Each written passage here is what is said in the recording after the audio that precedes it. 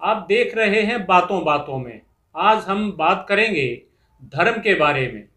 धर्म की व्याख्या क्या है? धर्म किसे कहते हैं? हमारे साथ हैं पुरातत्ववेता राजेंद्र सिंह राणा। क्या कहेंगे राणा साहब, धर्म के बारे में क्या आपकी राय है? क्या व्याख्या है धर्म की? देखिए, धर्म सबसे पहले जो आज लोग धर्म के बारे में अलग अलग भ्रांतियाँ रखते हैं। और धर्म की अलग अलग व्याख्याएँ रखते हैं। धर्म का सीधा सीधा जो मतलब है, वो है जो हम धारण करते हैं, वही धर्म है। और जैसा हम लोक में देखते हैं कि आज हमारे जितने भी पृथ्वी के अंदर जितने भी मानव समाज हैं, उनकी, उनके अपने कोई विशेष उपास्य देव होते हैं, उपास्य उपासना की अलग अलग पद्धतियाँ होती हैं, उनके अपने अपने आचार होते हैं अपने अपने विश्वास होते हैं। तो इन सबको लेकर के जो एक मान जैसे संकुल जो बनता है, उसको धर्म कहते हैं। और धर्म के जो मुख्यतः अगर अगर हम धर्म को जब देखते हैं तो उसके जो तीन भाग होते हैं पहला भाग होता है उसका जैसे कर्मकांड हम्म। किसी भी धर्म का पहला जो कर्मकांड होता है कि आपने नहाना है तो कैसे नहाना है पूजा करनी है तो किस तरह से पूजा करनी है खड़े होके पूजा करनी है या बैठ करके पूजा करनी है तो ये पहला जो हिस्सा है और किससे पूजा करवानी है उसमें कोई मीडिएटर जैसे मौलवी है पंडित है या जो पादरी होते हैं हम्म। इनको रखना है या नहीं रखना है? हम्म। तो ये पहला जो हिस्सा है वो कहलाता है कर्मकांड। दूसरा हिस्सा होता है धर्म का कि उसका फिलोसफी क्या है? जिसे कहते हैं ना फलसफा क्या है? हम्म, कि अलग अलग धर्मों की अलग अलग मान्यताएँ हैं। कोई धर्म एकेश्वरवादी है जैसे एब्रामिक जो जैसे रिलीजन है यहूदी धर्म है क्रिश्चियनिटी है या इस्लाम है तो ये एक ईश्वरवाद में विश्वास रखते हैं।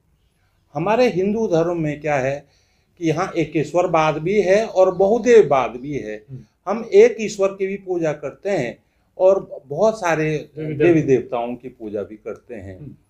जबकि वहाँ जैसे खास करके इस्लाम में एक से ज़्यादा ईश्वरों की या इलाहों की जो पूजा है वो सिर्फ़ कहलाता है। यानी कि जो ईश्वर के साथ किसी दूसरे को शरीक नहीं करते हैं तो इसलिए वहाँ एक से ज़्यादा देवताओं की या इलाहों की पूजा करना सिर्क माना जाता है।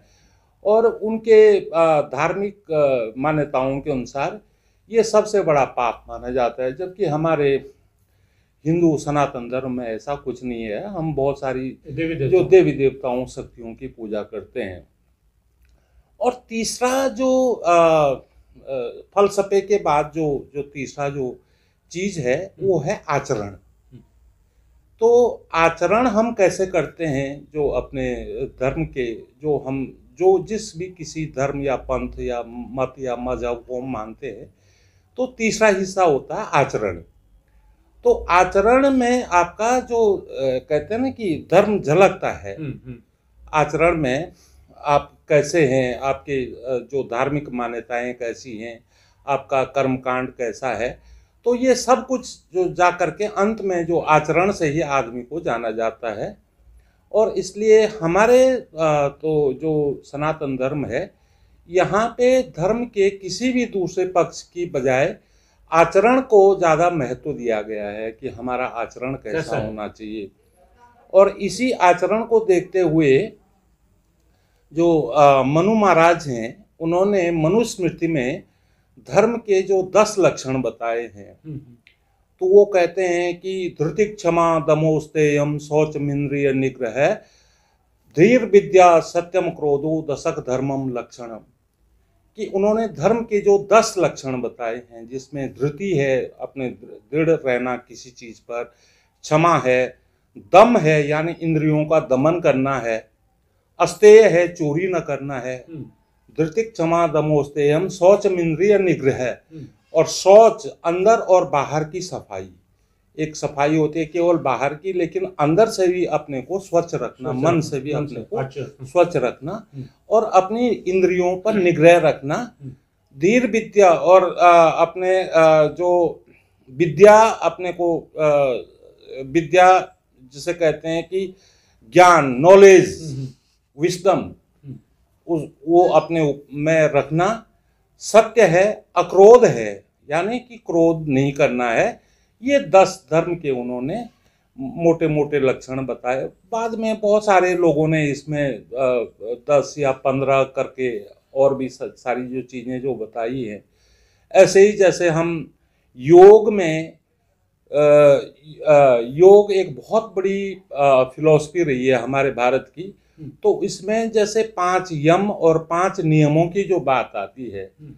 तो सत्य अहिंसा अस्तेय ये जो पाँच जो यम हैं ब्रह्मचर्य और उसके बाद जो शौच संतोष तप स्वाध्याय ईश्वर परिधान ये जो पाँच जो नियम हैं तो ये मिलकर के भी दस जो जो कुल जो मिलते हैं तो ये भी धर्म के ही मोटे मोटे अंग हैं। जी तो कोई इंसान सिर्फ़ मंदिर में जाता है या पूजा पाठ करता है जी। वही धर्म मान लेता है ये आचरण हाँ, ये, ये- सब चीज़ें। ये देखो ये एक संस्कृति का अंग हो सकता है हम्म।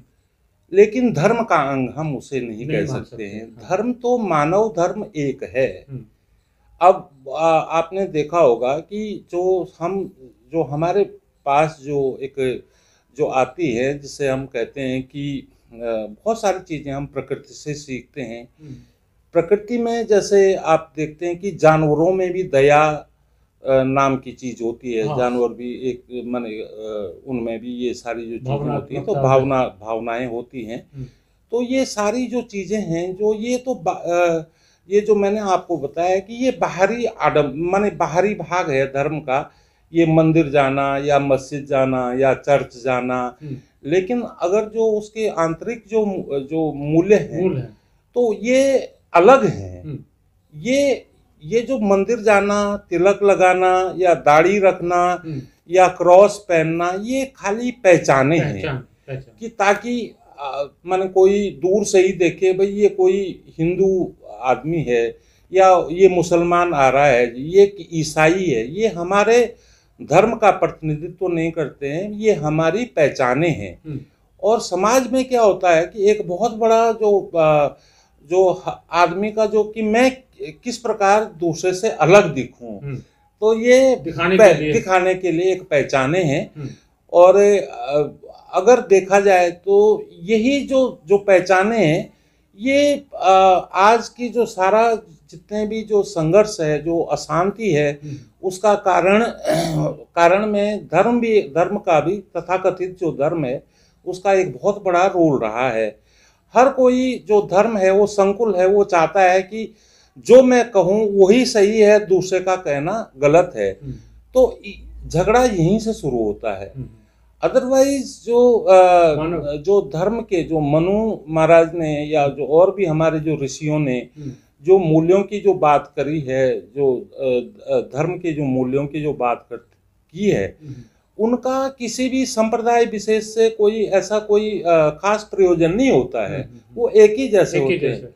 अब गीता और महाभारत में अगर आप देखें तो धर्म जो धर्म शब्द वहाँ सारी ड्यूटीज़ के लिए हम्म। इंसान के अपने जो कर्तव्य। क्या होते हैं ना हम्म, उसके लिए उसके अर्थ में तो आया धर्म क्या है आपका? हाँ, हाँ। कर्तव्य क्या है? कर्तव्य क्या है? तो ये जैसे जो गीता में भी आया है कि यदा यदा ही धर्मस्य ग्लानिर्भवति भारत। हम्म, कि भगवान कह रहे हैं कि जब जब धर्म का जो मोटे जो अर्थों में जो पृथ्वी में जो लॉ एंड ऑर्डर है हम्म, हम्म, उस उस उसको मेंटेन करना ही धर्म कहा गया है। हम्म, जब जब लॉ एंड ऑर्डर अशांति अराजकता जो फैल जाती है ना तो वही जो अवतारवाद की जो कल्पना हमारे धर्म धर्म। में की गई है कि हम्म। कोई अवतार आएगा और फिर से धर्म संस्थापन करेगा। करेगा।